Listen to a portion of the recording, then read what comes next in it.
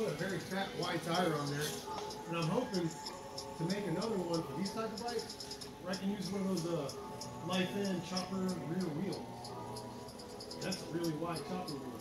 So I'm hoping to do that too. Hey, what are you doing? Came back, but he was going back out. Watching you, boy.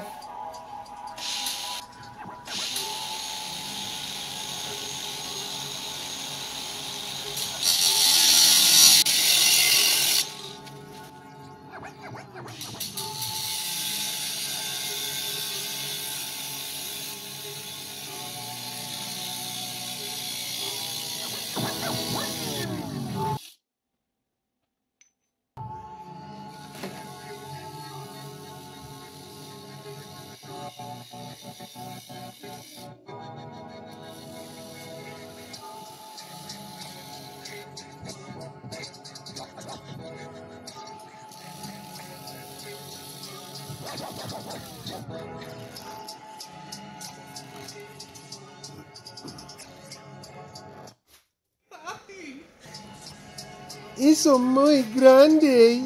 Ai, que guapo.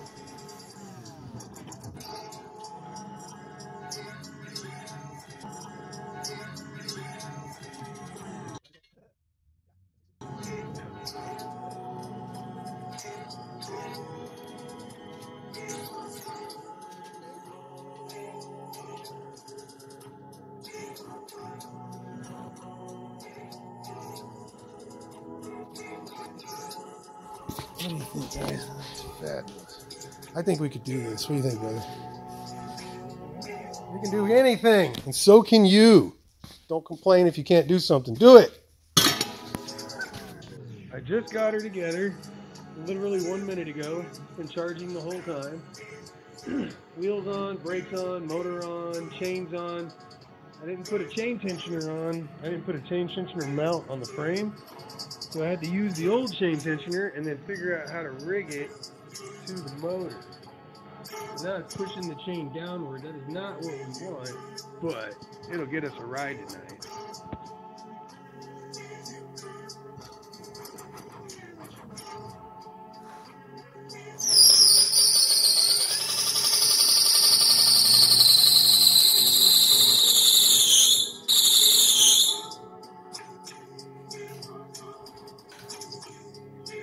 I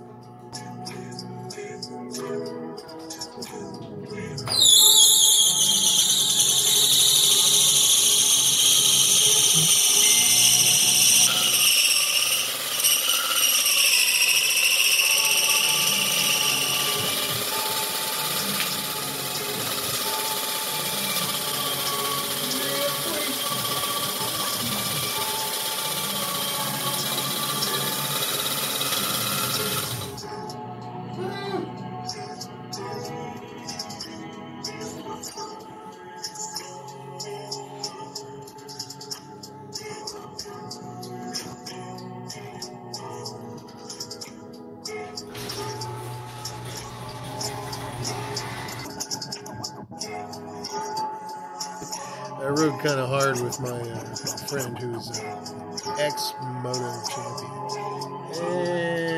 And I wound up breaking the plant. Those tires are not great for gravel, let me tell you. Not fun. But what an amazing bike. Absolutely impressed. You know, I there is a Lifan 125cc chopper that looks like crap. And I know the rear tire is dead, but the rim is right. And it's a 12 millimeter axle. Something to consider if you want to look for some different wheels. Now, most of those choppers use a drum rear. If you can find one with a disc rear, that's the win. And I think that's what I'm looking at. So I'm thinking about grabbing it. It's about two inches or three inches wider than this wheel. I think it might look dope.